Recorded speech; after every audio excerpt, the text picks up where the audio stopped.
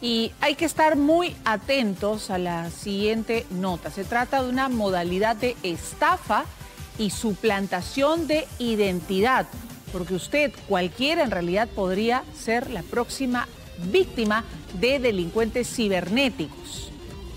Ellos se apoderan de su dinero haciéndose pasar por amigos o familiares. Ojo, denuncias por este delito que han dado con el paradero de un hombre que hoy se encuentra en investigación. ¿Quieres conocer más sobre esta historia? Patricia Aguaraz tiene el informe. Y me escriben a nombre de un familiar con la foto y el nombre, ¿no? A mi WhatsApp, diciéndome, este, hola, eh, agenda mi nuevo número. Luego de eso me dice, ¿no? Eh, necesito hacer un pago importante, ¿me podrías apoyar, por favor, con un monto? Y me envían un número de cuenta.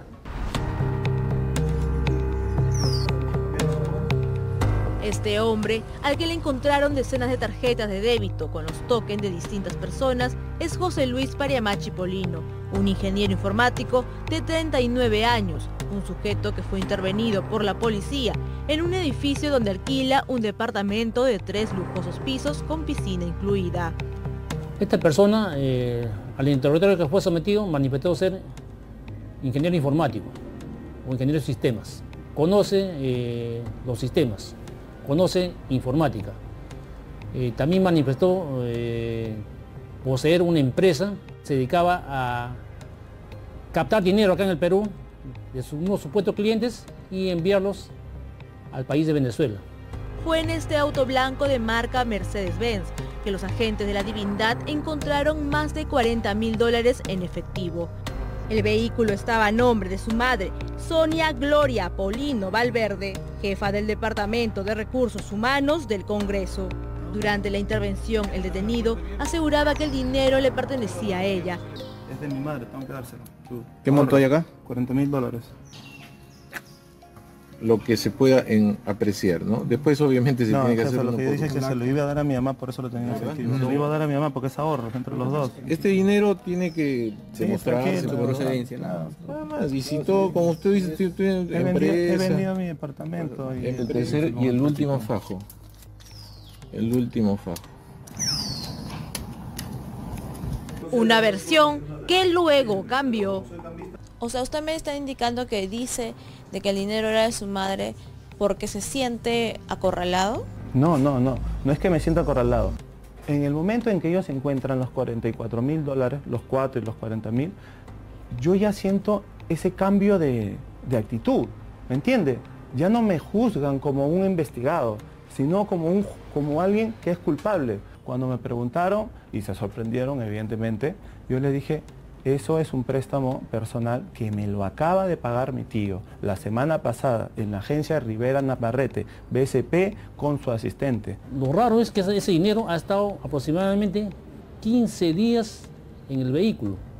No sabemos cuál iba a ser el uso que le iba a dar a ese, monto tan alto.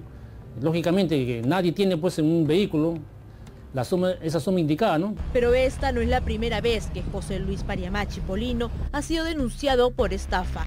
Entre el 2020 y 2021, varias víctimas señalan que su dinero llegó a parar a la cuenta de este hombre. Estas son algunas de las tantas acusaciones en su contra, seis de las cuales han sido archivadas.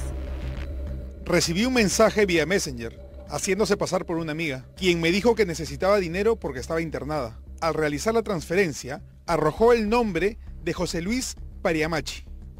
Me di con la sorpresa de que tenía denuncias ya antes y fueron archivadas, ¿no? Esta persona registra siete denuncias por estafa y una por suplantación de identidad, bajo la misma modalidad delictiva. Pero lo que, de lo que sí está probado es de que dinero, producto de estafas, han sido pues enviados a la, a la cuenta de este señor y también a través de la a cuentas receptoras y probablemente, si es como dice él, que realiza las transferencias al extranjero, está enviando dinero mal habido al extranjero, por no decir cometiendo el delito de la- de lavado de activos. En todos los casos se usó la misma modalidad. Primero clonan páginas de Facebook o Instagram, haciéndose pasar por un familiar o amigo, para luego solicitar el número de celular. Y es ahí donde empieza la estafa. El WhatsApp creado estaba con mi foto de perfil, una foto de perfil que lo han cogido del Facebook. Es una foto actualizada recién. Obviamente el número no es mío. Y con ese WhatsApp se comunican con el familiar mío, ¿no? Ahora en la actualidad los delincuentes informáticos se encuentran innovando nuevos métodos para poder más sustraer el patrimonio de sus víctimas. En este caso existe la modalidad de la suplantación de identidad. Vale decir, lo que hace el delincuente primero te perfila como víctima. Personas que tienen dinero, pequeños comerciantes, empresarios. Se crean un perfil falso, ya sea del Facebook o ya sea del WhatsApp.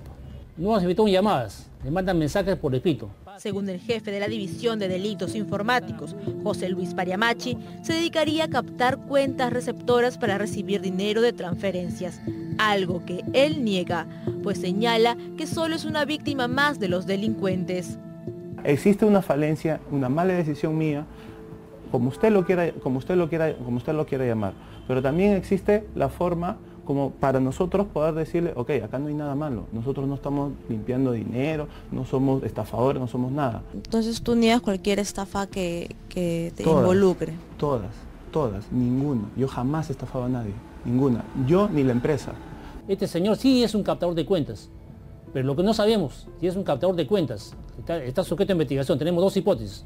Un captador de cuentas para la comisión de delito de fraude informático un captador de cuentas para la Comisión de Delito de Lavado de Activos. Dentro de su domicilio, según lo que su testimonio, se han encontrado muchas evidencias.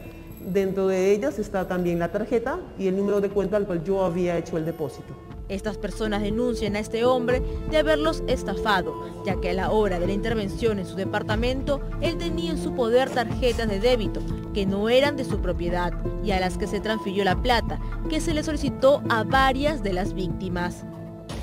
1, 2, 3, 4, 5, 6 tarjetas. ¿Estas tarjetas del banco? No están funcionando. ¿Y de dónde son? ¿De quiénes son? Son de mis asistentes que en su momento sacaron.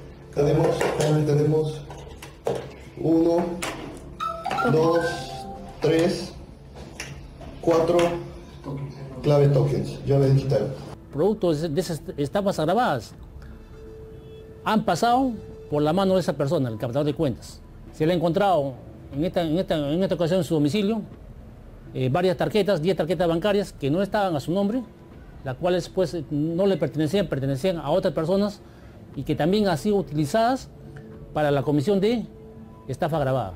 Según la policía, las estafas se daban a través de las tarjetas que este sujeto tenía en su domicilio y que no eran de él, métodos de pagos electrónicos personales e intransferibles que el investigado indicaba que utilizaba para su empresa de divisas, debido a que los bancos no le otorgaban líneas de crédito por las denuncias que posee en su contra.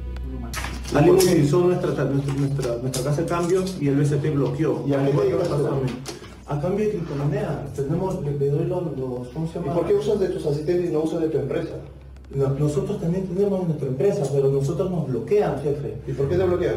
Porque alguien denuncia. Lamentablemente nosotros somos una empresa que ha crecido muy rápido y que tenemos que ordenar cosas, tenemos que ordenar nuestra cadena, tenemos que ordenar hasta la interacción con nuestros clientes, la, seguridad que tenemos que tener. El dinero de varios de los agraviados terminó en la cuenta de Gustavo Humberto Domingo Luceroré, amigo de José Luis Pariamachi, fue por este sujeto que la policía dio con el paradero del empresario investigado. ¿Esta cuenta en nombre de quién estaba? Es del tal Ore. ¿Sería esa persona la cual recepcionó el dinero que sus familiares estaban pidiendo? Sí, sí es la persona la cual se hizo la denuncia por medio prácticamente del número de cuenta. Manifestó que una tercera persona le había solicitado la tarjeta para hacer ciertos movimientos, ciertas transferencias. Que las empresas dinero. Se vuelve a poner el carro y él me dice, hoy me dice, yo te presto el dinero, me dice, y después me lo devuelves poco a poco. ¿Quién te dice eso? El dueño José Luis, el dueño. Mi amigo. Me dice, oye, me dice, entrale, ven ahí, vas al banco, abres par de cuentas de ahorro y me entregas así siguió la tarjeta y todo. Tarjeta y token de Gustavo Humberto, que se encontraron en el domicilio de José Luis Pariamachi, por lo que ahora está siendo investigado por la Fiscalía por suplantación de identidad. Pero usted le entrega su tarjeta a mérito de que qué le ofrece el señor. No, no me ofreció nada. ¿Qué nos entregó su tarjeta? O sea, mi tarjeta y me llevó al banco para, para abrir una cuenta en soles 100 dólares. Lo abrí, se lo entregué y yo me seguí trabajando. Es, un, es una amistad de, de un billar que yo frecuento. Nosotros nunca hemos tenido que recurrir eh, a, a, cualquier extraño, a alguien. Siempre han sido personas de nuestro entorno, porque en una casa de cambio recibe dinero y sale dinero. ¿Por qué utilicé la cuenta de él? Porque volvieron a bloquear otra cuenta que, util, que utiliza la, encuentra, la, la, empresa para recibir dinero. Mi patrocinado ha sido eh, detenido eh, supuestamente en flagrancia ya, por este hecho que usted le ha entrevistado, pero la situación legal de mi patrocinado es solamente de investigado con una este, disposición de inicio de investigación preliminar él está llevando su proceso, su investigación, investigación en libertad. En libertad y sin ninguna medida de restricción. En la entrevista que José Luis Pariamachi nos concedió, señaló que su empresa ha sido utilizada como un nexo por criminales para transferir dinero a cuentas venezolanas y que él no tendría que ver con las acusaciones por suplantación y estafa que hay en su contra, por lo que está dispuesto a ser investigado y dice ser inocente. A consecuencia de estas denuncias me han llegado procesos en los cuales yo me he defendido y he dado el descargo. He tratado de dar la mayor cantidad de información posible para que las autoridades lleguen a las personas que estafan y utilizan nuestra empresa como herramienta para estafar. Nosotros somos los principales afectados en esto. Eh, fue a parar a Anis Brazón con cédula de identidad 18917927 del Banco de Venezuela con número de cuenta. Esta es la constancia del depósito hacia donde fue el dinero de un banco en Venezuela. Tan solo el tiempo revelará la verdad de José Luis Pariamachi, un hombre que viene siendo investigado y que hoy camina tranquilamente por las calles. Un empresario a quien la fiscalía dejó en libertad y que ahora puede dar la cara ante las cámaras de televisión.